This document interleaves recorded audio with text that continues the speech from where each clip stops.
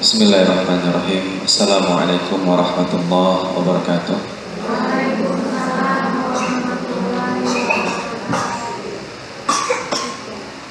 إن الحمد لله نحمده ونستعينه ونستغفره ونعوذ بالله من شرور أنفسنا ومن سيئات أعمالنا من يهده الله فلا مضل له ومن يضلله فلا هادي له أشهد أن لا إله إلا الله وحده لا شريك له وأشهد أن محمدا عبده ورسوله الذي لا نبي ولا رسول بعده. قال الله تعالى يا أيها الذين آمنوا اتقوا الله حق تقاته ولا تموتن إلا وأنتم مسلمون.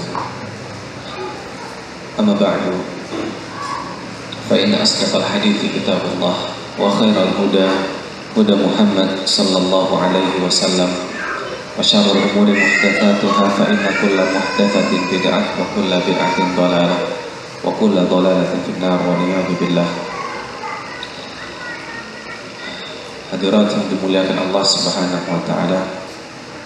Kita bersyukur kepada Allah Jalla Jalaluhu atas segala nikmat dan karunia yang senantiasa Dia curahkan kepada kita. Begitu banyak nikmat-nikmat Allah yang ada pada kita setiap harinya. Kalaupun seandainya setiap orang disuruh menghitung nikmat Allah yang ada pada dirinya, tidak usah dia menghitung dari semenjak dia lahir.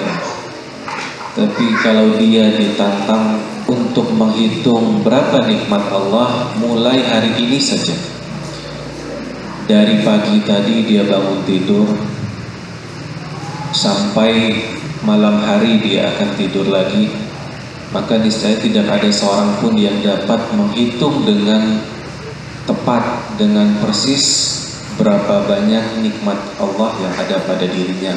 Sekalipun dia adalah seorang yang pakar matematika. Karena memang Allah yang mengabarkan hal demikian wa in ta'udu ni'matallahi la tuhsuha. Kalau seandainya kalian menghitung-hitung nikmat Allah yang ada pada kalian maka niscaya kalian tidak akan dapat menghitungnya karena banyaknya nikmat tersebut yang ada pada kita tapi sayang, kebanyakan dari kita tidak menyadari kalau nikmat Allah itu banyak sekali padanya. Disebabkan kadangkala kita menilai nikmat Allah itu hanya sebatas materi, hanya sebatas materi.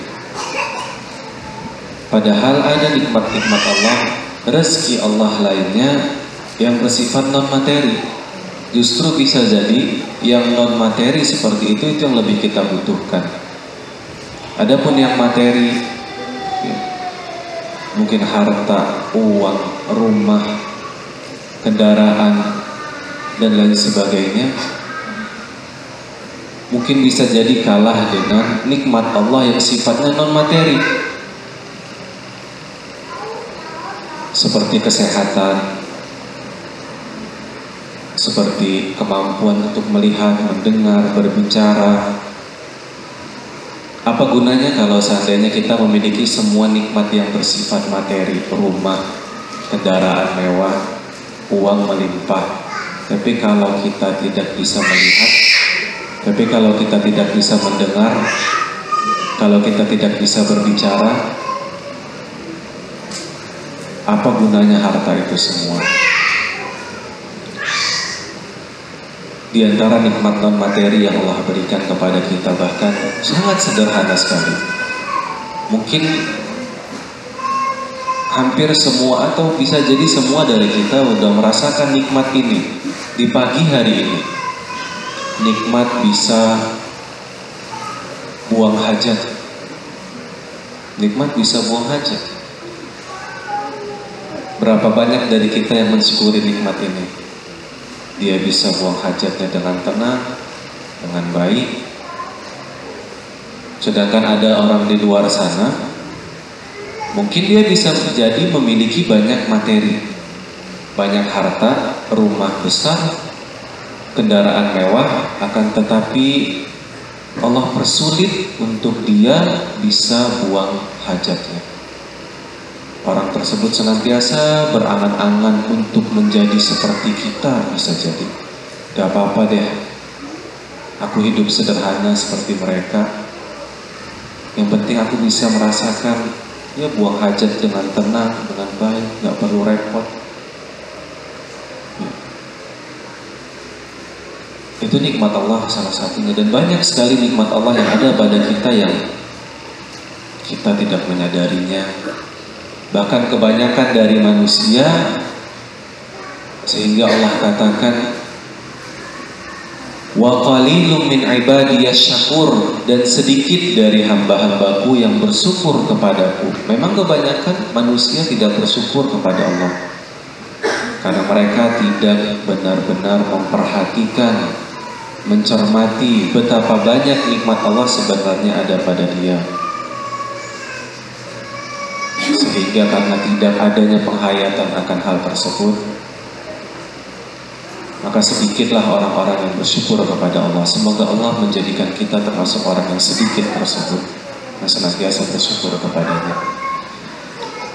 Hadirat yang dimuliakan Allah subhanahu wa ta'ala. Di antara nikmat yang besar yang Allah berikan kepada kita Allah berikan taufik kepada kita untuk bisa hadir di tempat ini dalam rangka mempelajari hadis-hadis nabinya, mempelajari kalamnya Al-Qur'anul Karim di mana orang di luar sana banyak yang mereka mencari sakinah dalam kehidupannya.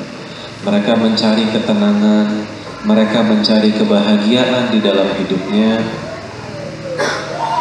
Ternyata banyak dari mereka yang tidak mendapatkannya. Bahkan mereka sudah lebih banyak mengorbankan hartanya ketimbang kita untuk mencari kebahagiaan tersebut. Membeli ini, membeli itu demi mencari kebahagiaan, ketenangan, sakinah di dalam dirinya. Tapi dia belum juga mendapatkannya.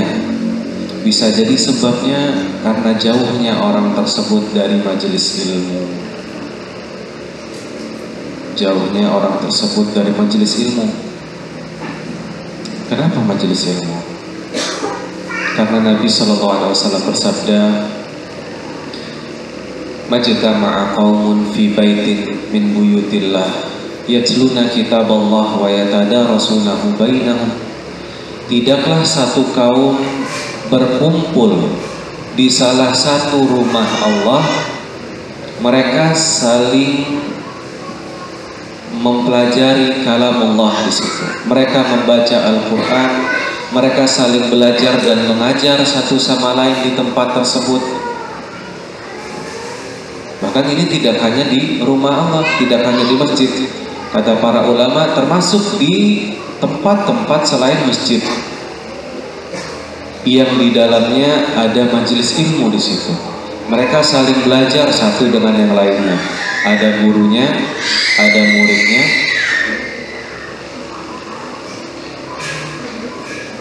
Maka apa yang akan mereka dapatkan di tempat tersebut? Illa nazalat alaihi sakinah wa ghasyiyatuhumur rahmah. Maka Allah akan tenang, Allah akan turunkan kepada mereka sakinah. Allah akan turunkan kepada mereka ketenangan kedamaian. Ini yang kita cari-cari dalam kehidupan kita. Baik laki-laki maupun perempuan, baik yang muda maupun tua, baik yang kaya maupun miskin, mereka semua mencari ketenangan, kebahagiaan di dalam kehidupannya. Ini yang mereka cari. Dan hal demikian bisa kita dapatkan di majelis ilmu. Bisa kita dapatkan di majelis ilmu. Allah akan turunkan ketenangan pada kita. Tidak hanya di tempat ini kita merasakan sakinah tersebut. Ketika telah mendapatkan ilmu tersebut, kemudian kita mengamalkannya dengan taufik dari Allah, kita keluar dari tempat ini, kita akan tetap merasakan sakinah tersebut kita akan tetap merasakan kebahagiaan tersebut. Tidak hanya itu, bahkan Allah, bahkan Nabi mengatakan, humur rahmah. Dengan hadirnya mereka di majelis ilmu maka Allah akan berikan rahmatnya kepada mereka. Rahmat Allah akan meliputi mereka ibu-ibu yang dimuliakan Allah subhanahu wa ta'ala. Selain kebahagiaan yang kita cari dalam kehidupan ini adalah rahmat Allah kasih sayangnya Allah ini yang kita cari. Ini sangat dibutuhkan dan tidak ada satupun makhluk kecuali mereka butuh dengan kasih sayangnya Allah. Mereka butuh dengan rahmatnya Allah mereka butuh dengan itu Kalau bukan karena rahmatnya Allah, kasih sayangnya Allah, maka niscaya kehidupan seorang hamba akan terlantar, akan semakin jauh dari Allah, akan semakin mendekatkan mereka dalam kebinasaan. Bahkan kita yang mengaku sebagai orang yang menginginkan surga Allah, maka hal yang paling kita butuhkan untuk bisa masuk ke dalam surga Allah itu adalah rahmat Allah. Rahmat Allah. Ustaz, saya udah sholat malam terus berjam-jam panjang bacanya Ustaz. Apalagi sholat wajib tuh nggak pernah saya tinggalkan Ustaz. sedekah tuh rutin Ustaz. setiap pagi setiap pagi saya sedekah rutin. Tiap pagi tuh sejuta sejuta sejuta. Ya mudah-mudahan Allah mudahkan bagi kita Bu ya untuk bersedekah sejuta setiap hari nah tapi Masa saya harus masuk surga dengan rahmat Allah? Kan udah banyak amalan. Iya, benar. Amalan kita sebanyak apa pun amalan kita itu nggak sebanding dengan mahalnya surga Allah. Nggak sebanding. Nggak bisa ditukar amalan kita sebanyak apa pun kita hidup. Sepanjang apa pun kita hidup. Sebanyak apa pun amalan kita itu gak sebanding kalau ditukar dengan surga Allah. Terlalu mahal. Terlalu mahal surga Allah itu. Lalu bagaimana kita bisa masuk ke dalam surga Allah? Dengan rahmat Allah. Dengan rahmat Allah. Nabi SAW bersabda La yudkhilu ahadan minkum amaluhul jannah wala yujiruhu minan nar. Wala ana illa bi rahmatin minallah. Kata Nabi tidak ada seorang pun dari kalian yang amalannya bisa memasukkan dia ke dalam surga. Tidak ada seorang pun dari kalian yang amalannya bisa memasukkan dia ke dalam surga Allah. Gak ada. Yang mengatakan siapa? Nabi. Gak ada yang bisa. Sebanyak apa pun amalannya. Wala yujiruhu dan tidak pula amalannya bisa menyelamatkan dia dari neraka Allah. Bisa. Amalannya sebanyak apa pun gak bisa menyelamatkan dia dari neraka Allah. Sampai para sahabat bertanya kepada Nabi, Begitu juga dengan engkau ya Rasulullah. Naam, wala ana. Iya, aku juga gitu. Aku masuk ke dalam surga Allah itu bukan semata-mata karena amalanku. Bukan. Jadi kenapa? Kata Nabi, illa bi rahmatin minallah. Tapi itu karena rahmat dari Allah. Karena rahmat dari Allah sehingga kita bisa masuk ke dalam surga Allah. tanpa rahmat Allah hanya sebatas mengandalkan amalan kita nggak bisa. Kalau gitu ya udah nggak usah kita beramal Ustaz. Gimana? Kalau gitu nggak usah beramal dong. Tetap ya gimana kita bisa mendapatkan rahmat Allah? Yaitu sebabnya dengan beramal. Amal kita hanya sebatas untuk menjadi sebab kita dapat rahmat Allah. Amalan kita sebab untuk mendapatkan rahmat Allah. Adapun yang memasukkan kita ke dalam surga Allah itu rahmat Allah, murni rahmat dari Allah Subhanahu wa taala. Dan di antara sebab agar kita bisa mendapatkan rahmat Allah sehingga kita nantinya mudah-mudahan dengan hal itu bisa masuk ke dalam surga Allah dan dijauhkan dari neraka Allah adalah dengan hadir di majelis ilmu. Hadir di majelis ilmu. Tapi dengan syarat dengan syarat keutamaan ini hanya bisa didapat bagi mereka yang hadir di majelis ilmu ikhlas karena Allah ikhlas ingin mencari ridho Allah ikhlas ingin mendapatkan rahmat Allah ingin mengangkat kebodohan dari dirinya sehingga dia bisa mengenal agama dengan baik kemudian dia bisa mendekatkan dirinya pada Allah dengan ilmunya tadi dengan baik. Ini. Adapun yang mereka hadir di majelis ilmu hanya sebatas mengisi kekosongan waktu, kesenggangan waktu. Ah ya udahlah, mumpung ada kerjaan dihadir. Ini karena disuruh suami yang terpaksa atau hanya sebatas ingin bertemu dengan teman-teman. Maka yang seperti ini dia tidak akan mendapatkan itu tadi.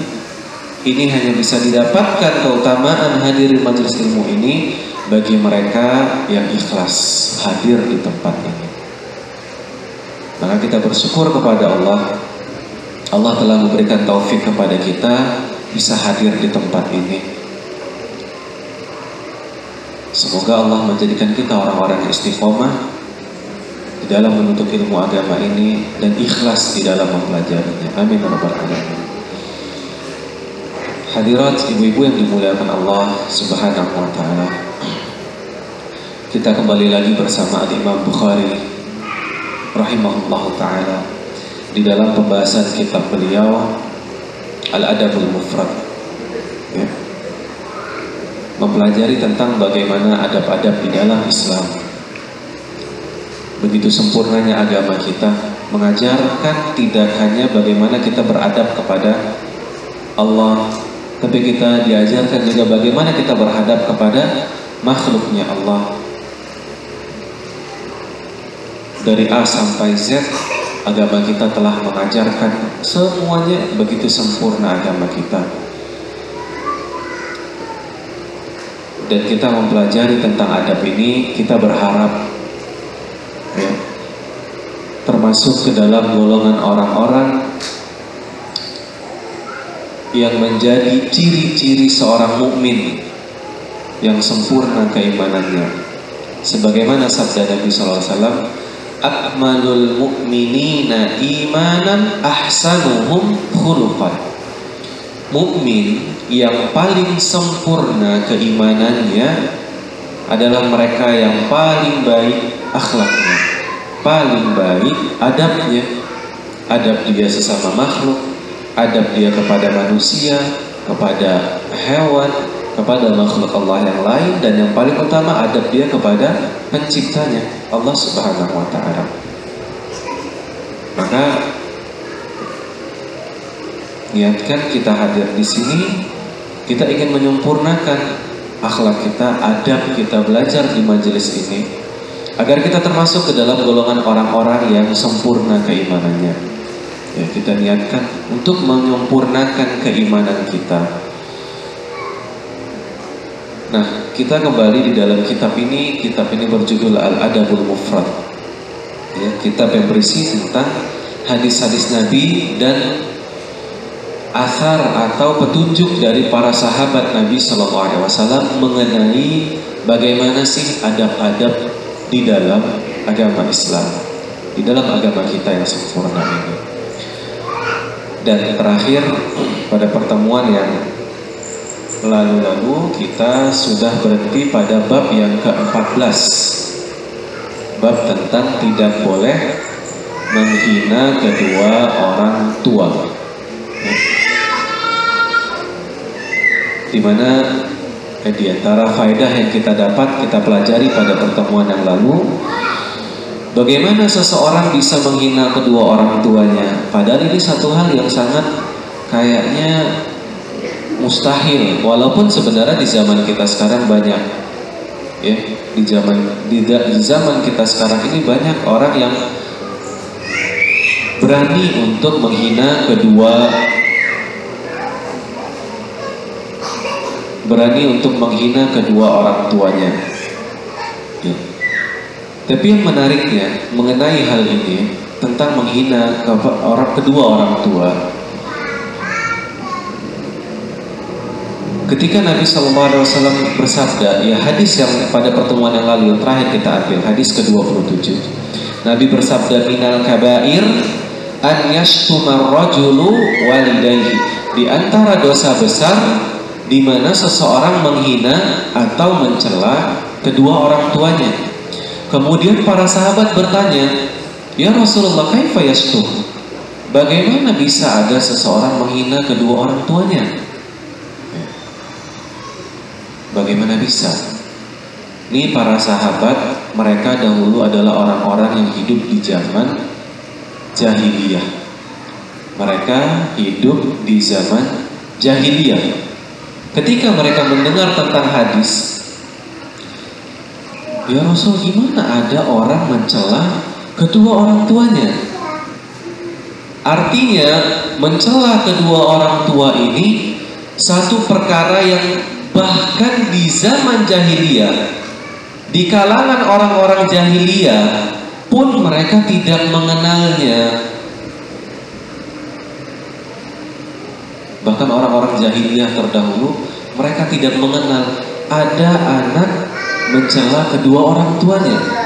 Maka para sahabat sampai heran mereka yang dulu pernah hidup di zaman jahiliyah sampai heran kaifa Bagaimana bisa ada orang tua, ada anak yang mencela kedua orang tuanya?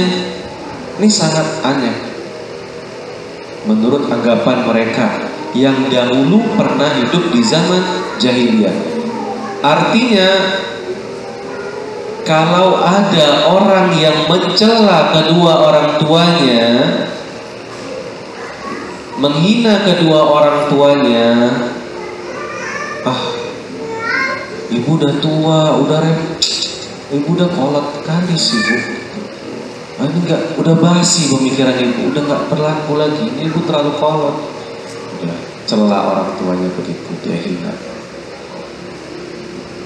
Mungkin iya dia nggak mencela dengan kata-kata yang kasar yang ini sebagaimana orang-orang di pasaran menyebutkan. Mungkin dengan bahasa-bahasa yang lebih sederhana tapi ternyata itu sudah menjadi celaan bagi orang tuanya maka kondisi orang seperti ini lebih parah lagi daripada orang jahiliyah. Karena separah-parahnya orang jahiliyah dahulu, mereka pun gak mengenal tentang bagaimana orang bisa mencela kedua orang tuanya. Berarti ini terlalu parah kalau ada orang yang berani untuk mencela kedua orang tuanya. Bagaimana seseorang bisa mencela kedua orang tua Nabi mengatakan yashtumur rajul aba rajulin wa yashtumu abahu. Seseorang mencela orang tua orang lain akhirnya dibalas sama orang lain itu. Orang lain itu mencela orang tuanya dia. Akhirnya dia menjadi sebab orang tuanya tercela. Dia menjadi sebab orang tuanya dicela oleh orang lain. Ini saja sudah termasuk doa dosa besar, apalagi kalau secara ya celaan tersebut itu langsung keluar dari lidah dia sendiri, dari lisan dia sendiri. Ini lebih parah lagi. Ya.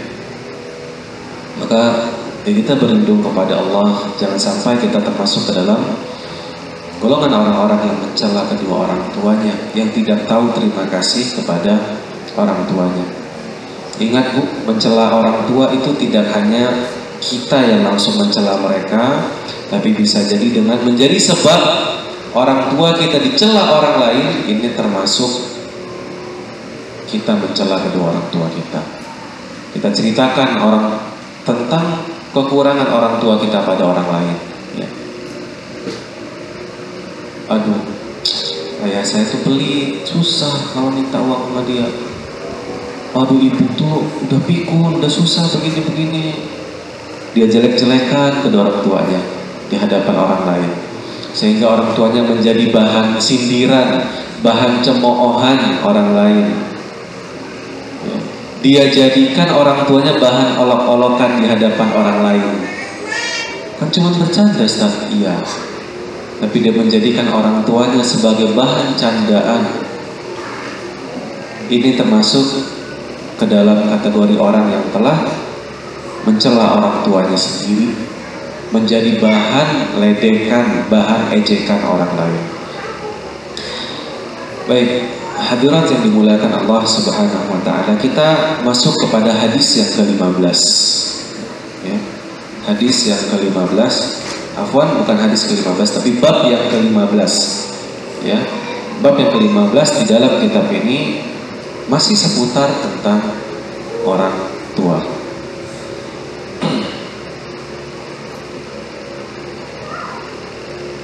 Ya ini salah satu keutamaan faedah yang bisa kita ambil.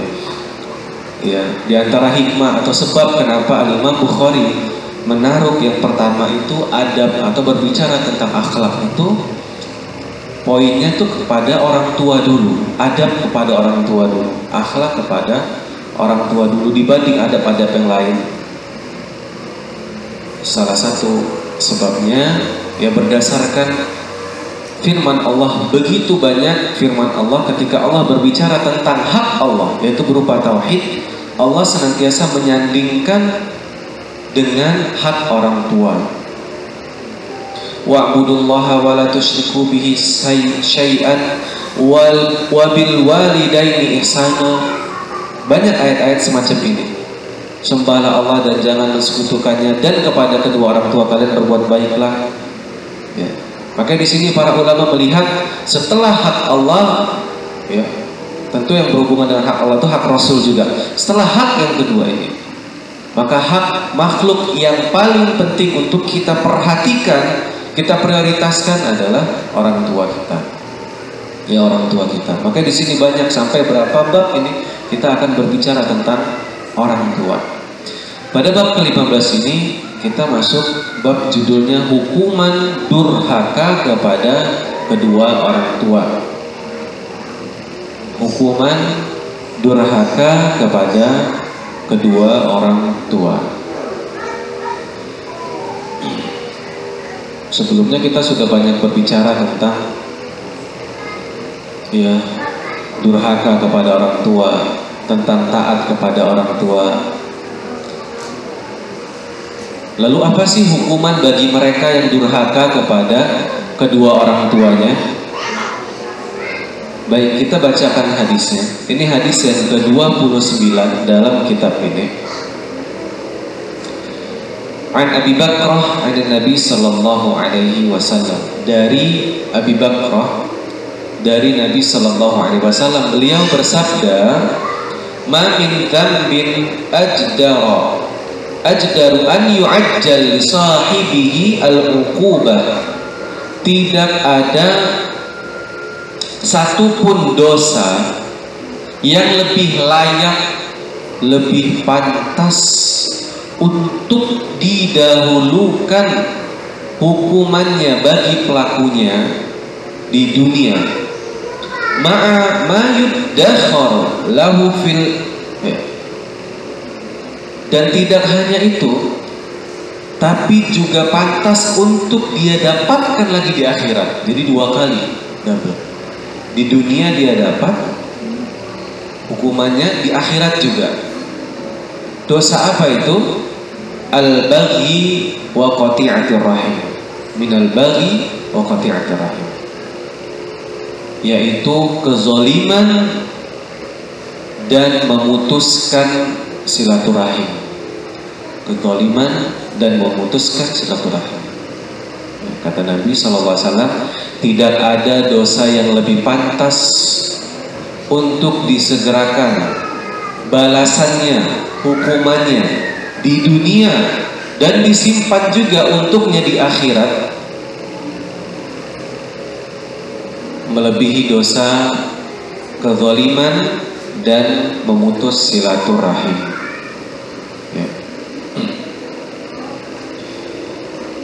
Ibu-ibu yang Allah muliakan, di dalam hadis ini ada banyak faedah yang bisa kita petik. Bagaimana Nabi menceritakan tentang dosa yang harus didahulukan ini. Ini dosa nggak bisa ditunda-tunda hukumannya, harus didahulukan. Kenapa? Karena bahayanya dosa ini jika ditunda hukumannya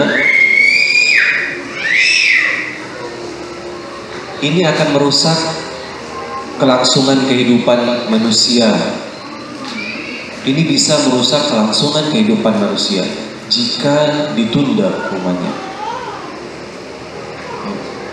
Makanya Allah segerakan ini agar menjadi apa? Agar bisa menjadi ibrah, agar bisa menjadi pelajaran bagi orang lain dan bisa menjadi efek jerah bagi si pelakunya itu.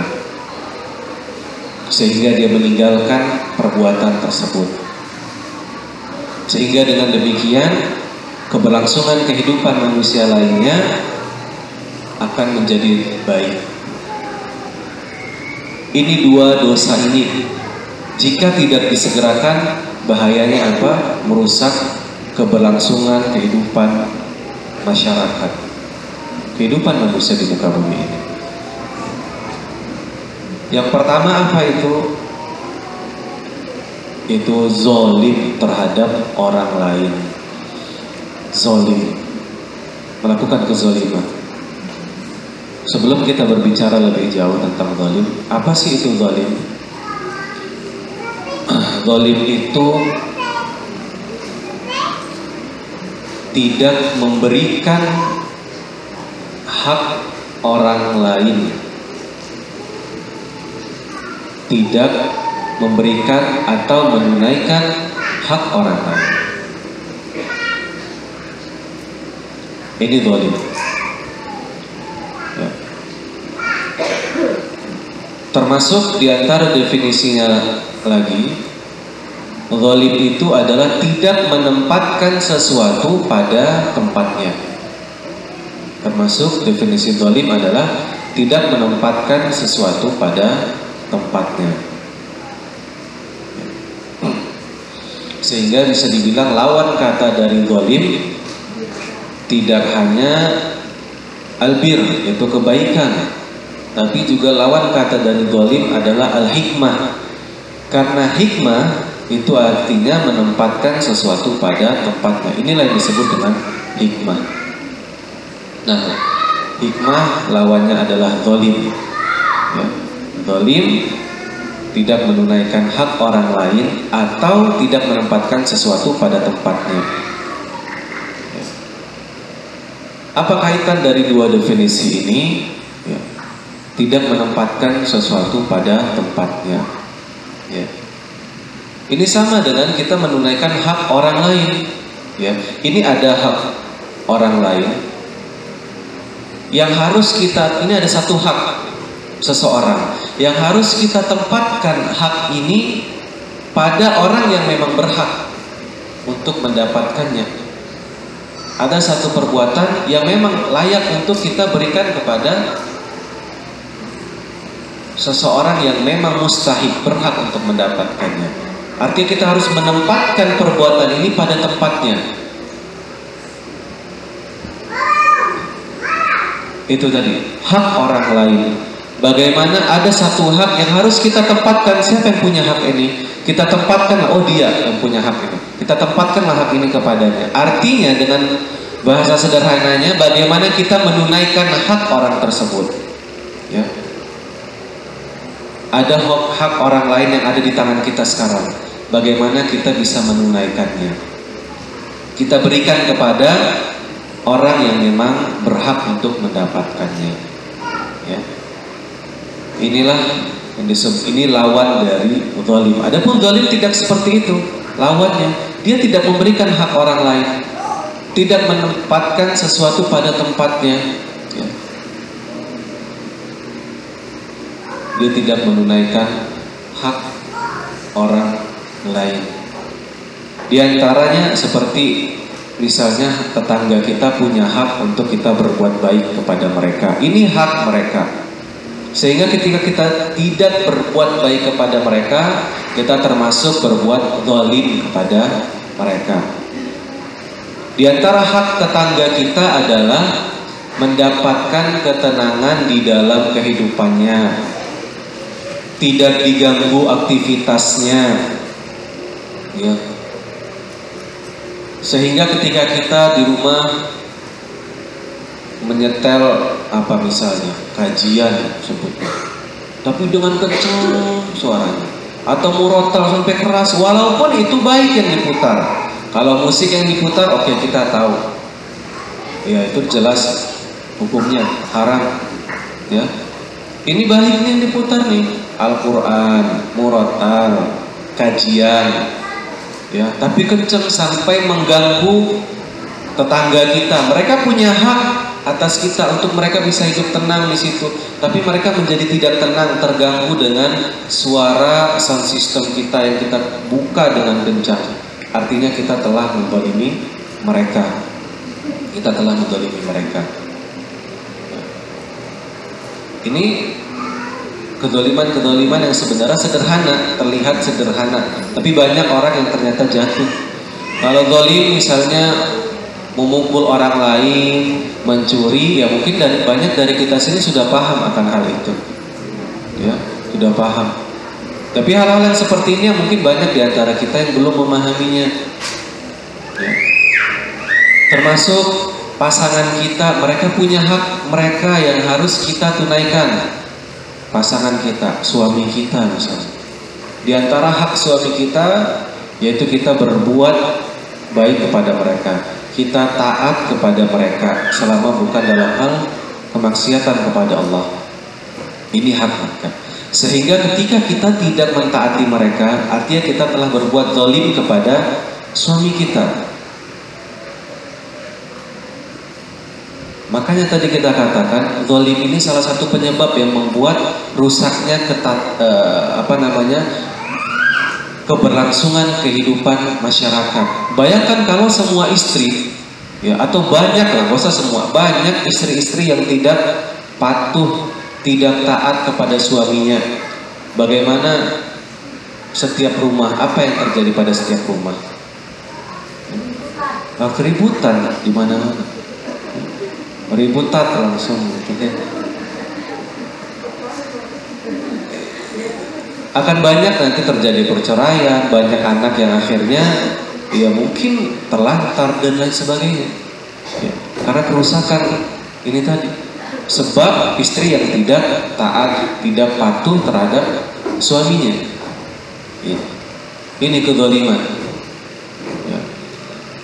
termasuk zalim-zalim yang lain ini Ya zalim khususnya zalim di sini itu berhubungan dengan hak manusia, ya hak orang lain yang kita ambil yang tidak kita berikan.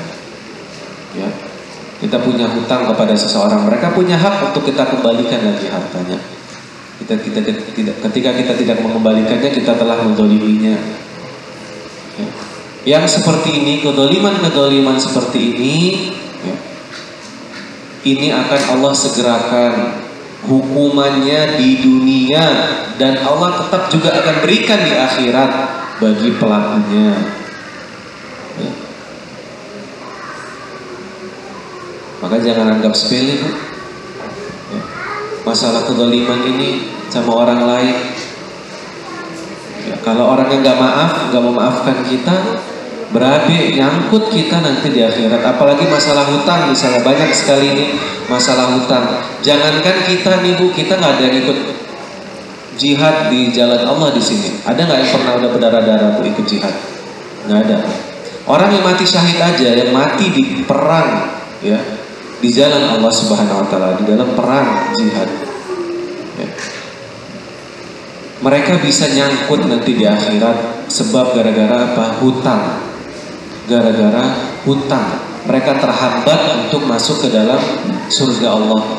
Mereka harus menunaikannya dulu itu. Jadi perlu diperhatikan masalah. Nah,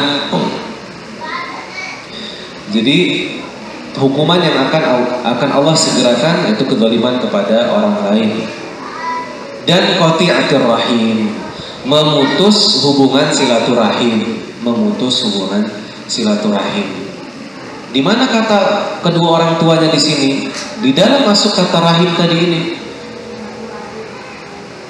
di dalam kata rahim ini Silaturahim artinya apa Bu? Menyambung hubungan dengan karib kerabat kita.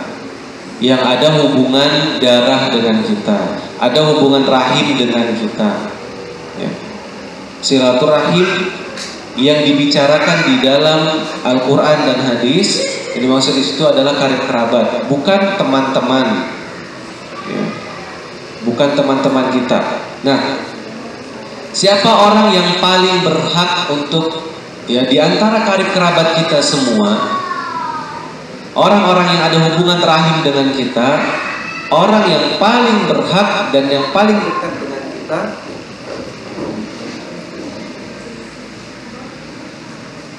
adalah orang tua.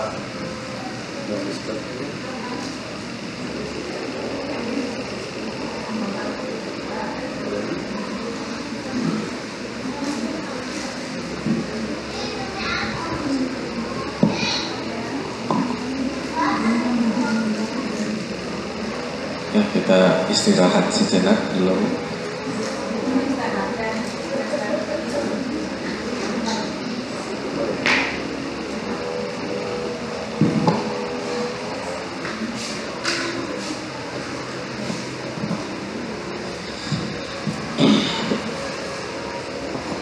Nah, di antara orang-orang yang memiliki hubungan rahim dengan kita, yang paling dekat dan paling berhak untuk kita berbuat baik, untuk kita menyambung silaturahim dengan mereka adalah orang tua. Orang tua, apalagi ibu kita. Langsung memang kita bermula dari rahim mereka. Ayah kita, kita dari sperma beliau. Mereka yang paling berhak, ya. Sehingga Ya, bayangkan qati'atir rahim. Di sini Nabi mengatakan secara umum. Ya, secara umum memutuskan hubungan silaturahim dengan siapa pun itu, karib kerabat kita. Nabi nggak mengkhususkan kepada orang tua. Artinya kepada orang lain saja hukumannya itu bisa didahulukan di akhirat eh di dunia dan akan diberikan juga di akhirat. Apalagi kepada orang tua. Apalagi kepada orang tua. Lebih besar lagi hukumannya.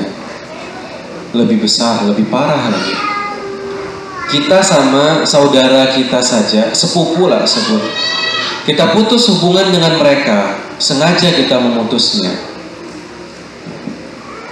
maka hukumannya itu di dunia dan di akhirat kalau kita tidak segera meminta maaf atau kita tidak segera menyambung kembali silaturahim itu. Tidak segera bertobat dari dosa tersebut. Maka ini termasuk dosa besar. Memutus hubungan silaturahim. Bagaimana sih bentuk memutus silaturahim itu? Bagaimana bentuknya? Mungkin kebanyakan masyarakat mengira yang namanya memutus silaturahim itu adalah sebatas tidak mengunjungi dia sebatas tidak menziarahi dia artinya sudah memutus hubungan silaturahim. Tidak hanya itu sebenarnya. Ya. Banyak masyarakat mengira yang namanya menyambung rahim itu, silaturahim itu hanya sebatas ziarah. Datang ke rumah karib kerabat kita, ke rumah orang tua kita. Padahal tidak hanya sebatas itu. Ya.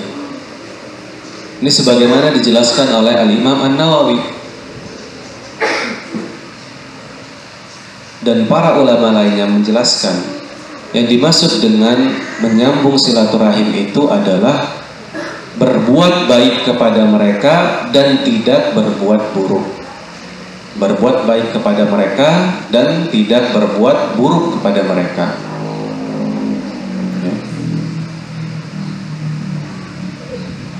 Ini harus ada kedua-duanya. Jadi jangan cuma berbuat baik tapi masih tetap berbuat buruk kepada mereka. Artinya kita tetap dianggap sebagai orang yang memutus silaturahim.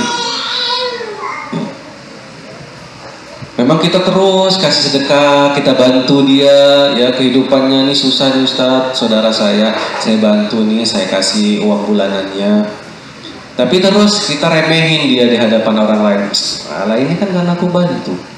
Kita sakiti hatinya, kita rendah-rendahin dia, kita berbuat buruk kepada dia. Memang kita bantu secara finansial, tapi kita jadikan dia juga sebagai babu kita. Kamu kan udah aku bantu, tolonglah dulu sini, parah ya. Kerjakan ini dulu, kerjakan ini, kerjakan itu. Ya. Jadi menyambung silaturahim tidak hanya sebatas kita berbuat baik, tapi kita juga jangan berbuat buruk kepada mereka. Ya. Nah, dan orang yang paling berhak untuk mendapatkan itu adalah siapa? Orang tua kita. Orang tua. Ya, orang tua kita. Walaupun seseorang tidak dapat mengunjungi orang tuanya ziarah karena memang silaturahim nggak sebatas ziarah, tapi dia berusaha untuk berbuat baik kepada orang tuanya meskipun jarak jauh dengan menelpon, dengan ya setiap bulan dia transfer mungkin gitu ya, tiap minggu lah kalau bisa. Ibu-ibu mungkin senang kan kalau setiap minggu ada aja masuk gitu kan notifikasi wah satu juta satu juta gitu kan. Nah kamu cuma nanya-nanya kabar aja gitu kan kode gitu kan. Enggak. Ya ya semampu kita sebatas kemampuan orang tersebut. Ya sebatas kemampuan orang tersebut dan ketika kita berbuat buruk kepada mereka mencelanya apalagi jangan mencela. Kita merendahkan mereka. Kita tidak memberikan hak mereka, ini kita termasuk sudah memutus hubungan silaturahim dengan mereka. Walaupun tiap hari kita ziarahin, walaupun kita tinggal di rumahnya, kita bantu semua kebutuhan dia dalam rumah itu, tapi kita juga kita gibahin dia di hadapan orang lain. Kini kita termasuk telah memutus silaturahim dengan orang tua kita. Ya. Walaupun kita setiap hari menziarahi dia, karena menyambung rahim tidak hanya sebatas ziarah, sebagaimana kita katakan tadi. Termasuk adalah berbuat baik dan tidak berbuat buruk kepada mereka. Ya. Nah, ini jadi hukuman durhaka kepada orang tua ya yang jadi saksi pembahasan kita pada kalimat terakhir dalam hadis Nabi SAW ini tadi Qati'atur rahim apa hukumannya? Allah akan dahulukan hukumannya di dunia dan Allah juga akan simpan itu lagi hukuman buat dia di akhirat nanti. Ya, ketika dia tidak bertaubat dari dosa tersebut. Ya. Maka ini kita perlu berhati-hati. Baik, kita lanjutkan pada hadis berikutnya. Sebelum kita lanjutkan, ini di antara faedah di dalam hadis ini tadi. Kadang orang yang mengambil hak orang lain, dia pikir itu merupakan satu keuntungan bagi dia. Dia ambil harta orang lain tanpa haknya. Mungkin orang tersebut nggak tahu, dia kira dia ini menjadi keuntungan bagi dia. Dia tidak membantu orang lain kemudian dia tidak merasa capek sehingga dia merasa ini keuntungan bagi dia. Dia menelantarkan orang lain, saudaranya, rahimnya. Dia kira ini keuntungan bagi dia. Karena dia nggak perlu repot-repot ngurus orang orang lain. Padahal sebenarnya tidak seperti itu. Pada hakikatnya dia telah mendolimi diri dia sendiri. Terutama orang yang dolim tadi ini.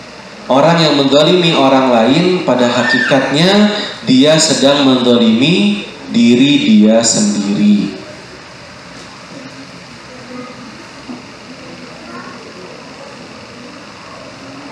Karena artinya dia bersiap-siap ketika dia menyakiti orang lain, dia bersiap-siap akan mendapatkan hukuman yang lebih berat dari yang dia lakukan itu. Di dunia dan di akhirat. Artinya dia telah menzalimi diri dia sendiri. Dia telah mempersiapkan diri dia untuk berhadapan dengan hukuman Allah, dengan murkanya Allah. Makanya Allah Ta'ala berfirman, Man amila salihan fali nafsi wa man asa'a fa'alaiha. Siapa yang telah beramal soleh, maka pada hakikatnya dia telah berbuat baik untuk dirinya sendiri. Itu untuk dirinya sendiri. Dan siapa yang telah berbuat buruk, di antara keburukan tersebut adalah kezaliman, mana maka pada hakikatnya dia telah berbuat buruk untuk diri dia sendiri. Maka jangan kira kita selamat setelah kita dolimi orang lain, kita selamat. Ya. Walaupun dia nggak tahu, tapi ingat Allah Maha tahu. Dia punya Rob yang senantiasa melihat kita di mana pun kita berada. Ya, kita gibahi dia, walaupun dia nggak dengar, tapi dia punya Robnya yang senantiasa mendengar perkataan orang-orang yang telah menggibahi dia.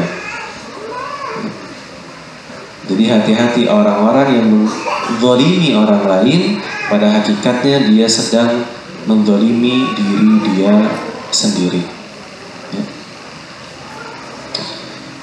Baik, ibu-ibu yang dimuliakan Allah Subhanahu Wa Taala, kita lanjutkan kepada hadis berikutnya. Hadis yang ke-30 ini ya kita tinggalkan karena hadis tersebut hadis daif ya disebutkan oleh beliau di situ ya hadis tersebut hadis daif kita lanjut kepada bab yang berikutnya bab ke-16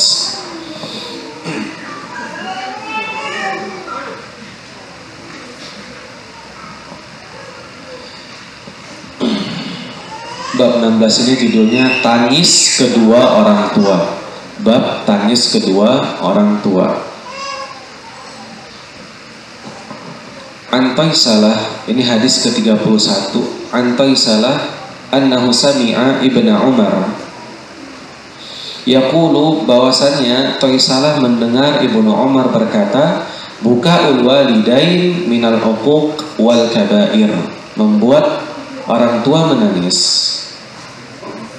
Karena kedurhakaan kita Ini termasuk dosa besar. Sebenarnya hadis ini sudah dibacakan pada hadis yang ke-8 ya tentang tangisan kedua orang tua. Hanya saja di sini Al Imam Bukhari ya ingin menegaskan kembali kepada kita tentang satu amalan yang dapat menjerumuskan seseorang dalam kebinasaan, dalam murkanya Allah yaitu membuat kedua orang tua menangis, ya, membuat kedua orang tua menangis karena durhaka. Adapun membuat orang tua menangis karena ya baktinya kita, ya karena bahagia, maka ini bukan termasuk bentuk uh, dosa besar, ya. Justru ini bisa menjadi kebaikan kepada kita. Baik, kita lanjutkan pada hadis berikutnya. Bab ke-17 doa kedua orang tua. Doa kedua orang tua. Ini hadis ke-32 An Abi Ja'far annahu sami'a Aba Hurairah yaqul dari Abu Ja'far bahwasanya beliau mendengar Abu Hurairah radhiyallahu anhu berkata Qala Nabi sallallahu alaihi wasallam bahwasanya Nabi sallallahu alaihi wasallam bersabda Thalathu da'watin mustajabatun lahunna ada tiga doa yang mustajab ya yang tidak akan ditolak oleh Allah. La syakka fihinna ya. Yang ini tidak diragukan padanya. Artinya ini pasti dikabulkan oleh Allah nih di doa tersebut. Da'watul mazlum yang pertama doanya orang-orang yang dizalimi. Yang kedua da'watul musafir doa orang-orang yang sedang bersafar. Yang ketiga da'watul walid ala wal ala waladihi. Doanya orang tua kepada anaknya. Ya. Baik, ibu-ibu yang dimuliakan Allah Subhanahu wa taala, di dalam hadis ini Nabi bercerita tentang tiga doa yang tidak akan ditolak oleh Allah Subhanahu wa taala. Ini mustajab doa tersebut. Ya, ini doa yang mustajab. Ya. Ini doa dari tiga orang. Siapa orang-orang tersebut? Yang pertama mereka adalah orang-orang yang dizalimi. Kedua orang-orang yang sedang bersafar. Dan ketiga doa kedua orang tua. Eh doa orang tua untuk anaknya. Di sini Nabi mengatakan ala waladihi. Kata ala menunjukkan artinya doa keburukan dari orang tua untuk anaknya. Ini mustajab doanya tidak ditolak oleh Allah kita perhatikan tiga orang ini tadi. Yang pertama orang didolimi orang yang sedang dalam keadaan safar. Satu lagi doa orang tua ya, keburuk doa keburukan dari orang tua untuk anaknya. Artinya orang tua ini tidaklah seseorang yang mendoakan keburukan untuk anaknya melainkan pasti karena dia sudah murka kepada anaknya. Sudah sangat bukan sekedar murka lagi sangat sangat sangat murka. Sudah sangat sangat sangat marah kepada anaknya karena biasanya orang tua anaknya sezolim apa pun sama dia biasanya nih dia nggak akan tega itu mendoakan keburukan untuk anaknya artinya kalau sudah sampai doanya ini doa keburukan berarti ini sudah sangat marah sekali hatinya sudah sangat sempit sekali dibuat anaknya. Ya, perhatikan tiga orang ini. Tiga orang ini adalah orang-orang yang kondisi hatinya sedang tertekan, sedang sempit. Orang yang didolimi tadi, orang yang sedang tersakiti, ya. orang yang sedang dalam keadaan sempit, orang yang sedang bersafar. Mereka ya safar mungkin nggak seperti sekarang bu ya hmm, kalau sekarang mungkin banyak orang safar ya enak malah jalan-jalan senang-senang gitu ya ya kalau dulu kondisi orang yang bersafar terutama di zaman Nabi SAW itu sangat nggak enak bu. Sangat nggak enak ya. E, makanya doa mereka ini salah satu doa orang yang mustajab ya. Karena hati mereka sedang dalam keadaan kacau sendiri ya. Butuh pertolongan orang dan lain sebagainya nah yang ketiga tadi ya doa orang tua yang didolimi anaknya sampai dia bisa mengatakan seperti itu maka di sini faedahnya bagi kita bahwasanya ya di antara sebab doa itu dikabulkan oleh Allah Subhanahu wa taala ketika hati kita sudah dalam keadaan apa namanya? sempit. Ketika kita sudah tidak ada lagi bergantung dengan orang lain kecuali hanya kepada Allah Subhanahu wa taala. Ini tiga kondisi hati orang-orang di mana ketika orang-orang seperti ini, keadaannya. Dia ini hati orang-orang sudah sangat ya sudah ya Allah aku udah pasrah sama ya Allah Ini kondisi hati orang-orang sudah pasrah sama Allah.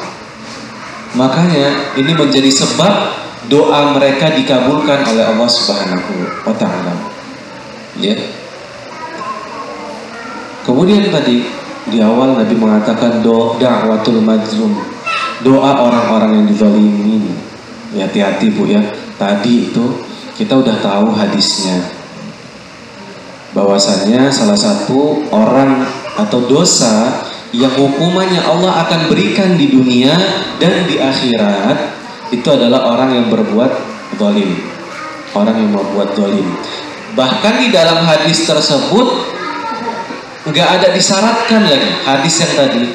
Nabi nggak ada mensyaratkan sampai orang yang didolimi mendoakan dia dulu, enggak. Tapi walaupun enggak didoakan keburukan orang-orang yang didolimi, dia tetap akan mendapatkan hukuman dari Allah di dunia dan di akhirat. Apalagi kalau plus ditambah lagi dengan doa orang yang kita zolimi itu. Maka bagaimana kondisi kita nantinya? Sangat buruk kondisi kita nantinya. Jangan kita kira kita menindas orang, kita sudah menjadi orang yang besar, Bu, hati-hati. Kita yang memiliki kekuasaan, ya mungkin ibu di sini ada ibu RT di sini atau ibu apa. Ya semuanya ibu RT, Bu ya, ibu rumah tangga. Jangan kita sembarangan menindas orang. Ya sembrono sama orang lain, kita kira kita sudah hebat, ya. Ingat, nggak didoakan mereka aja kita sudah mendapatkan ancaman dari Allah. Dihukum di dunia dan di akhirat. Apalagi ditambah dengan kalau mereka jengkel sama kita ditambah dengan doa mereka. Bisa kacau hidup kita bu. Kacau ini sebagaimana hadis Nabi SAW kepada Mu'ad bin Jabal. Ketika Nabi mengutus Mu'ad bin Jabal ke Yaman untuk berdakwah di sana Nabi memerintahkan kepada Mu'ad karena di sana banyak kaum kaum yang belum Islam dan kebanyakan mereka adalah orang-orang kafir kata Nabi. Innaka satati qauman ahla kitab. Engkau akan datang kepada kaum yang mereka di situ ahli kitab semua artinya bukan orang-orang muslim nih orang Yahudi atau orang Nasrani maka hendaknya dakwah yang pertama kali engkau sampaikan kepada mereka tauhid syahadat la ilaha illallah kalau mereka sudah melakukan itu Kabarkan mereka bahwasanya Allah mewajibkan kepada mereka sholat lima waktu. Setelah mereka mengerjakan sholat lima waktu, kabarkan kepada mereka bahwasanya Allah mewajibkan kepada mereka zakat. Kemudian kata Nabi SAW, tukhadu min ihim. Zakat tersebut diambil dari orang-orang kaya di antara mereka. Kemudian Nabi mengingatkan kepada Mu'ad, wattaqi da'watal madlum fa innahu laisa bainaha wa bainallah hijab hati-hati dengan doanya orang yang didolimin ya Mu'ad hati-hati jangan sampai engkau ngambil harta zakat Nabi mengatakan harta zakat itu diambil jangan diambil dari yang paling terbaik dari mereka ya tapi yang pertengahan Nabi mewantis, mengantisipasi Mu'ad untuk jangan ambil tuh jangan suka-suka mentang-mentang mereka sudah taat sama apa yang engkau seru, engkau suka-suka ngambil harta yang terbaik dari mereka untuk dizakatkan. Ya. Nabi mengatakan hati-hati jangan sampai mereka mendoakanmu wattaqi da'watal. Hati-hati doa orang-orang yang didolimi laisa bainahu bainallah hijab karena tidak ada antara hijab eh tidak ada hijab antara doa dia dengan Allah tidak ada pembatas antara doa orang ini dengan Allah. Jadi begitu orang ini berdoa langsung sampai kepada Allah. Langsung sampai. Dan Allah langsung mengabulkan doa orang tersebut. Nah ini da'watul mazlum, hati-hati.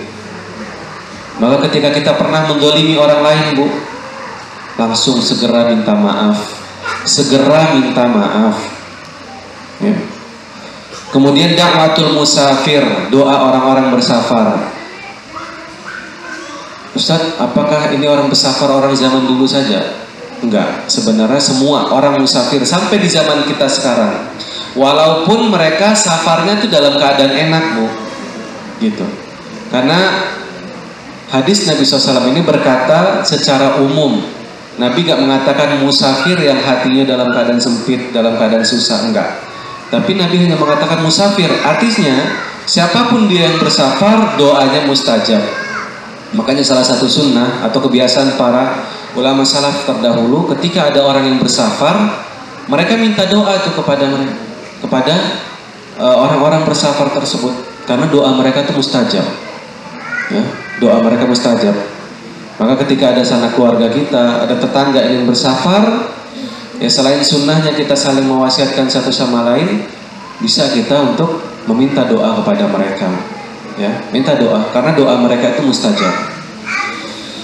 Kemudian dakwatul walid ala waladihi. Ini menjadi saksi pembahasan kita di dalam bab ini yaitu doanya orang tua kepada anaknya. Yaitu doa keburukan.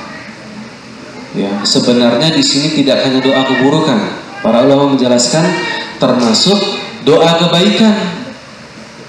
Termasuk doa kebaikan dari orang tua untuk anaknya itu juga mustajab ya, itu mustajab. Maka jangan sia-siakan. Ya. Di sini maka hendaknya setiap anak itu kita tahu dari hadis ini setiap anak itu harus bersungguh-sungguh untuk apa mendapatkan doa kebaikan dari orang tuanya. Ya berusaha untuk menjauhi sebab-sebab yang dapat membuat orang tuanya mengucapkan perkataan yang buruk untuknya ya. Karena pada saat itu doa atau perkataan orang tua tersebut mustajab. Nah, hati-hati kita sebagai seorang anak. Dan ibu pun hati-hati juga. Kita udah tahu nih kita punya senjata yang sangat-sangat ampuh ya. Langsung nih ke Allah. Allah kabulkan hati-hati dalam berbicara Jangan sampai kita sembarangan berbicara. Berkata perkataan yang tidak baik kepada anak-anak kita. Hal tersebut diaminkan oleh malaikat nantinya. Hati-hati. Anak ini masih kecil. Wah lagi lincah-lincahnya kita bilang lasa kali lah anak ini lasa kita bilang. Lasa Akhirnya gitu nanti sampai besar jadi anak lasak itu lincok sana kemari panjang kali kakinya. Susah diatur dan sebagainya. Mungkin salah satu sebabnya itu. Ya. Tapi katakan, oh masya Allah anak ibu aktif sekali, itu aktif bilang. Ya anak aktif itu bisa ke arah positif maknanya. Tapi kalau kita bilang lasa, bandel, ih bandel kali lah, udah jadi bandel nanti dia besarnya. Gitu. Maka hati-hati bu, Ibu-ibu di sini lisannya masya Allah nih. Ini lisannya semua mustajab bu, hati-hati untuk anaknya. Ya, maka hati-hati. Ya. Ketika melihat anak kita melakukan keburukan, meninggalkan kewajibannya, mengerjakan perbuatan dosa, jangan dicaci, jangan dijelek-jelekan, jangan dimaki, tapi doakan kebaikan untuk mereka. Doakan kebaikan ya. Jangan putus asa. Ya sebandel apa pun anak kita, sebandel apa pun anak kita. Ya. Banyak bu kita dengar kisah anak-anak yang bandelnya itu udah sangat-sangat keterlaluan. Tapi orang tuanya bersabar terus nggak putus asa. Dia yakin dengan hadis Nabi ini Allah akan kabulkan itu doa orang tua kepada anak untuk anaknya. Allah akan kabulkan. Dia terus panjatkan. Jangan putus asa. Terus berdoa. Banyak kok akhirnya anak-anak tersebut bertaubat menjadi baik. Salah satu sebab utamanya itu doa orang tuanya. Doa orang tuanya. Dan banyak juga akhirnya anak-anak menjadi buruk besarnya. Sebab apa? Sebab doa keburukan dari orang tuanya doa keburukan. Gak ada untungnya bu sebenarnya kalau kita mendoakan keburukan untuk anak kita kan. Apakah itu akan merubah dia menjadi lebih baik? Enggak. Enggak juga. Yang ada dia akan semakin buruk lagi nantinya. Maka berusaha untuk mendoakan kebaikan anak-anak kita. Sebandel apa pun anak kita. Ya.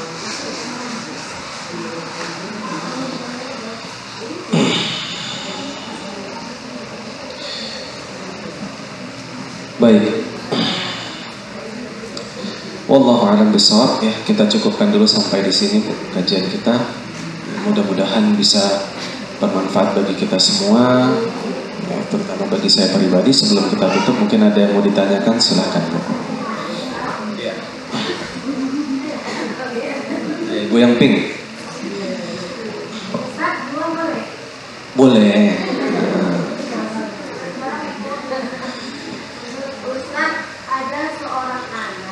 Iya. Saking sayangnya sama orang tua, terus si anak ini sering ikut pengajian atau menghadiri majelis ilmu. Jadi sesuatu e, orang tuanya melakukan suatu kesalahan karena si anak tahu ilmunya sudah belajar, jadi si anak ini memberitahu kepada orang tua, biasanya itu salah. Hmm. Tapi orang tua nanggapinya e, nanggapinya dia Ustaz marah gitu. Hmm kamu baru belajar udah begini udah begini hmm. karena saking sayangnya si anak itu maka orang tuanya itu dikasih tahu hmm. harus sampaikan mak hmm. ini saya dan benar ini hmm. tapi orang tuanya nggak terima hmm. sampai marah anak sampai umur pagi gitu hmm. itu yang itu gimana Ustaz maksudnya yang saya tanyakan apakah anak tersebut termasuk anak yang durhaka hmm. satu lagi Ustaz hmm. Iya satu dulu, bentar bu ya. Saya jawab dulu, tapi lupa nanti soal. Iya kan? Nah, eh, apakah anaknya termasuk durhaka? Dia memberitahukan kepada orang tuanya karena sayangnya dia tidak ingin orang tuanya melakukan hal yang dapat mengundang murka Allah, gitu ya bu ya. Ketika anak tersebut sudah melakukannya sesuai dengan ajaran Nabi di dalam berdakwah, artinya dia telah berdakwah dengan hikmah ya. Maka anak tersebut tidak termasuk ke dalam orang yang durhaka kepada orang tuanya. Yang termasuk. Kecuali kalau dia mendakwahi orang tuanya tapi tidak dengan cara yang dituntunkan oleh Nabi kita SAW misalnya memang dia nyampaikan ilmunya kepada orang tuanya tapi dengan cara yang kasar tidak sopan Bu, ibu ini bu, kalau ibu kerjakan ini terus, ibu ini ahli nar.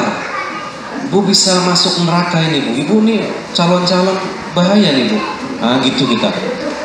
Ini makin jengkel orang tua. Ini kita berdakwah tidak dengan cara yang baik. Ya, ini kita bisa menjadi sebab dia semakin jauh dari dakwah ini malahan. Maka yang seperti ini kita bisa masuk dalam tadi anak yang durhaka sama orang tuanya malahan. Bahkan kita tetap mendapatkan dosa telah menjauhi orang dari ilmu agama. Makanya kadang-kala kita hati-hati juga dalam berdakwah tidak hanya kepada orang tua, kepada orang lain harus dengan hikmah, dengan bijaksana.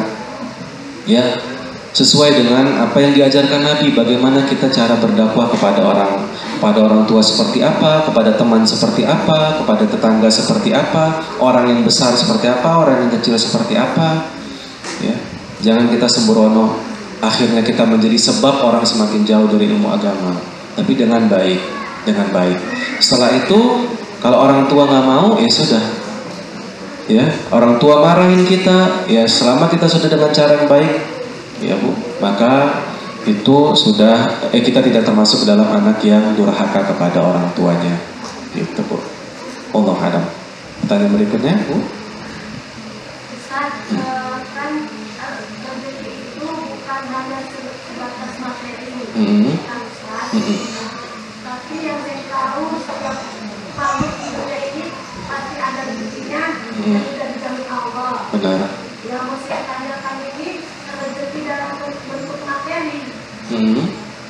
Kalau memang rezeki kita udah dijamin Allah, kenapa kita harus bekerja? Nah, Ustaz, kan rezeki kita kan udah dijamin Allah, nah yeah. bekerja, hmm. Yang mau saya tanya, apakah kita harus bekerja rezeki itu atau kalau bekerja kan udah untuk Allah, udah rezeki kita, hmm. aja. Hmm. Iya. Oh ya benar. Iya, jadi kalau rezeki sudah ada, ngapain kita harus bekerja, gitu ya Bu ya? Nah, jadi salah satu hikmah Allah, Allah punya sifat namanya, punya nama namanya Al Hakim. Allah tuh maha bijaksana.